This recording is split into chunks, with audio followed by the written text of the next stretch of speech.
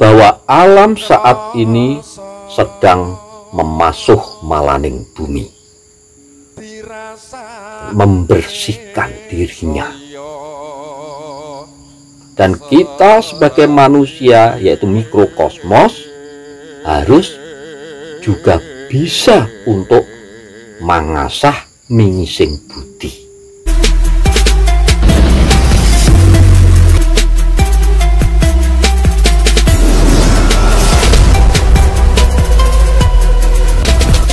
Assalamualaikum warahmatullahi wabarakatuh. Salam sejahtera untuk kita semuanya. Rahayu Rahayu Rahayu.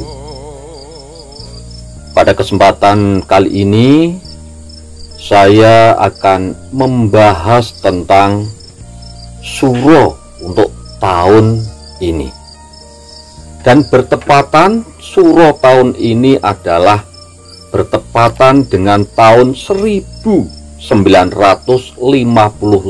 Jawa. Dan kalau Hijriah ini adalah tahun 1443 Hijriah.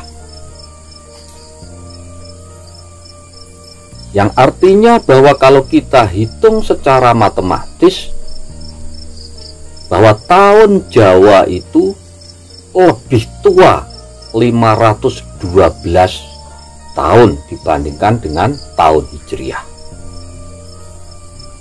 Dan kelebihan-kelebihan daripada kalender Jawa itu memang sangat lengkap dan akurasinya adalah termasuk akurasinya paling tinggi di seluruh dunia.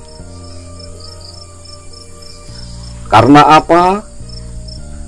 Di kalender Jawa itu hitung-hitungannya itu ada yang namanya wuku. Jadi ini melibatkan wuku, kemudian juga melibatkan windu, kemudian melibatkan lambang-lambang hari dan pasaran dan masih ada lagi yaitu Pranoto Mongso. Jadi ini sangat lengkap.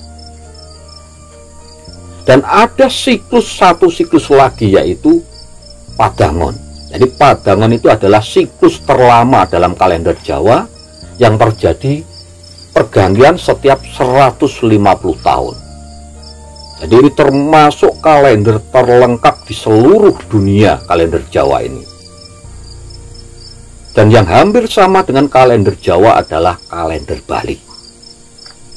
Makanya tingkat akurasi daripada kalender Jawa ini adalah yang paling akurat. Windu ini pergantian setiap 8 tahun sekali. Kemudian wuku itu setiap perpekan. Kemudian masalah pranoto mongso ini ada yang isinya kurang dari 30 hari dan ada yang lebih dari 30 hari. Makanya dengan perhitungan ini kita bisa uh, akurat untuk menghitung masalah fenomena-fenomena di alam. Masalah bercocok tanam masalah orang mau melaut itu sangat tepat sekali. Tetapi memang agak ribet dan saat ini memang jarang yang menggunakan untuk kalender Jawa ini. Paling yang digunakan kalau tidak Hijriah ya Masehi. Karena apa itu simpel tetapi akurasinya kurang bagus. Nah, inilah kecanggihan nenek moyang kita dalam bidang ilmu astrologi kuno. Ini paling canggih sebenarnya nenek moyang kita terutama eh, leluhur-leluhur uh, Jawa kita dulu mengenai suro tahun ini. Menurut wataknya, suro tahun ini adalah termasuk suro tundan.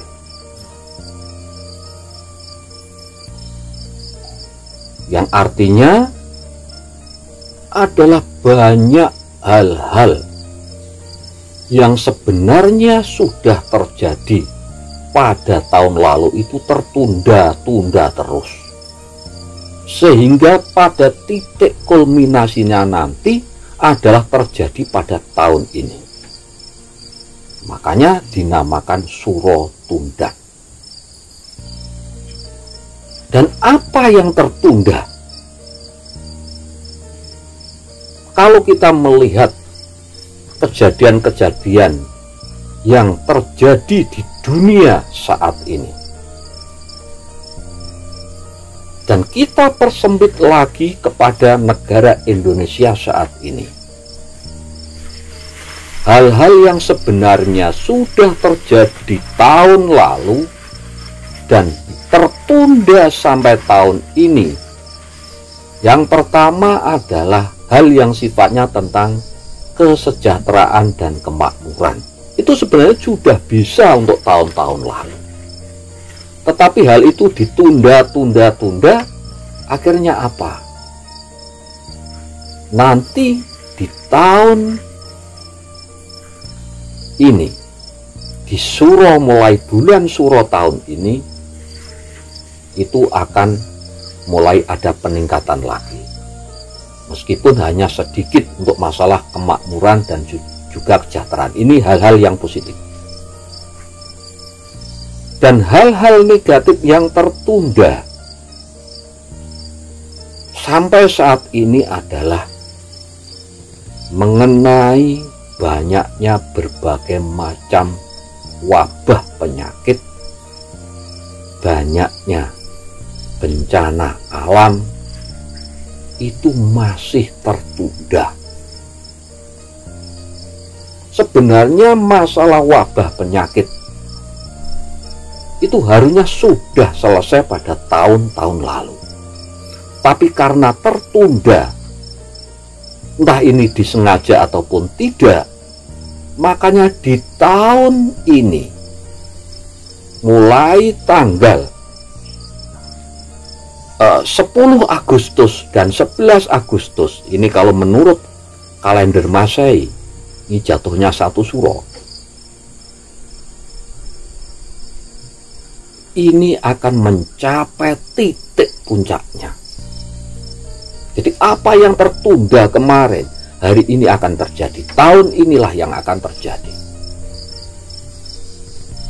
Jadi penyakit-penyakit akan mencapai pada titik puncaknya adalah pada tahun Surotundan.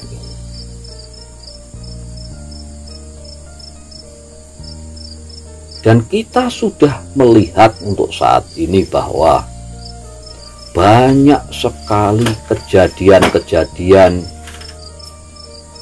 alam, terutama masalah bencana alam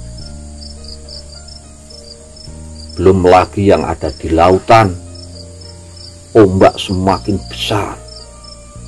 Dan yang di daratan banyak terjadi gempa. Gunung meletus. Ini akan terjadi pada tahun saat ini ke depan. Karena apa sesuatu yang kemarin sebenarnya terjadi itu terunda untuk tahun ini. Jadi tahun ini termasuk adalah tahun keprihatinan kita semuanya. Ibaratnya kita untuk tahun ini adalah dilemparkan betul-betul sampai kepada titik yang paling dalam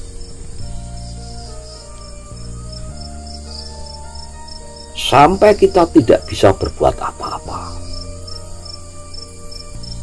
Tetapi setelah semuanya ini nanti terjadi dan selesai dan berhasil kita lampaui, maka setelah kita dibenturkan begitu keras ke dasar jurang, maka akan terjadi lontaran yang begitu kuat ke atas.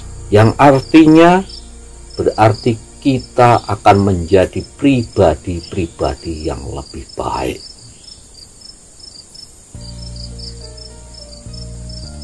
Jadi tahun ini adalah tahun di mana alam sedang memperbaiki dirinya. Alam sedang bersolek untuk mempercantik dirinya. Karena sudah terlalu lama alam ini porak-poranda.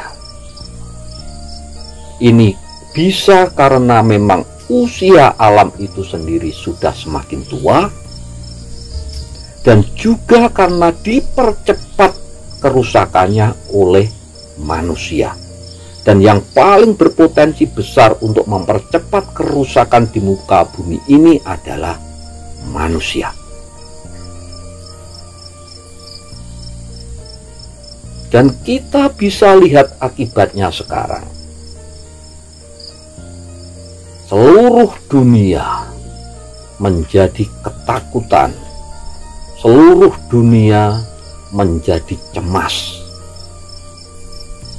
yang artinya berarti energi negatif yang berkembang saat ini ini adalah energi negatifnya paling besar. Sehingga tidak ada lagi keseimbangan antara energi positif dan energi negatif. Lebih cenderung yang paling tinggi untuk saat ini di seluruh dunia di muka bumi ini adalah energi negatif.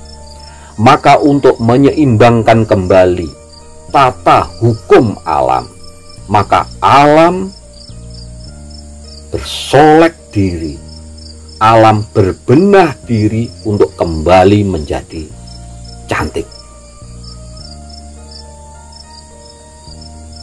Dan apa yang terjadi? Proses untuk mempercantik alam ini proses untuk menyeimbangkan tata hukum alam ini maka banyak sekali penyakit-penyakit itu yang ke mana-mana dalam perubahan musim ini maka mana yang terkuat itulah nanti yang akan bertahan Makanya kita sebagai manusia juga harus memperkuat diri kita supaya bisa melampaui pergantian musim dan pergantian alam ini. Sama halnya penyakit tadi, ketika penyakit itu timbul ke mana-mana, penyakit ini juga berusaha untuk mempertahankan dirinya supaya bisa selamat dari seleksi alam ini. Makanya banyak penyakit yang kemudian menjadi makan manusia. Contohnya saat ini, virus saat ini itu sebenarnya hanya untuk mempertahankan dirinya, sehingga mereka memakan paru-paru manusia sebagai tempat bertahan hidupnya. Jadi jangan salah kalau orang mengatakan bahwa puncak daripada rantai makanan itu adalah manusia, itu sangat salah. Karena apa? Manusia sendiri juga saat ini sedang dihantui dan juga sedang menjadi incaran makanan buat virus, bakteri, dan penyakit-penyakit yang lain.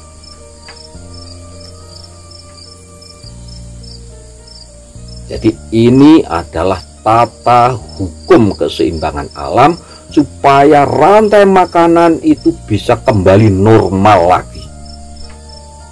Karena memang sudah terlalu rusak alam ini. Nah, nanti setelah semuanya ini berlalu, alam sudah kembali normal lagi, alam sudah kembali cantik lagi, alam sudah kembali berseri kembali, maka kehidupan selanjutnya nanti akan menjadi lebih baik. Jadi bisa dikatakan bahwa alam saat ini sedang memasuh malaning bumi. Membersihkan dirinya. dan kita sebagai manusia yaitu mikrokosmos harus juga bisa untuk mengasah mingising budi. Jadi untuk mempertajam diri kita supaya apa? Kita sadar bahwa kita harus selalu selaras dan seimbang dengan alam kalau kita selaras dan seimbang dengan hukum tata alam atau tata hukum keseimbangan alam artinya kita selaras dengan kehendak Tuhan. Tuh. Makanya untuk ke depan ini yang perlu kita persiapkan adalah kalau Jawa itu ada pitutur luhur. Mangertiyo sejatining urip. Supaya bisa nggayuh urip kang sejati. Yang artinya pahamilah apa sesungguhnya hidup ini. Supaya kita dapat meraih kehidupan yang sejati dengan mengerti hidup yang sejati artinya kita hidup selaras dan seimbang dengan tata hukum keseimbangan alam.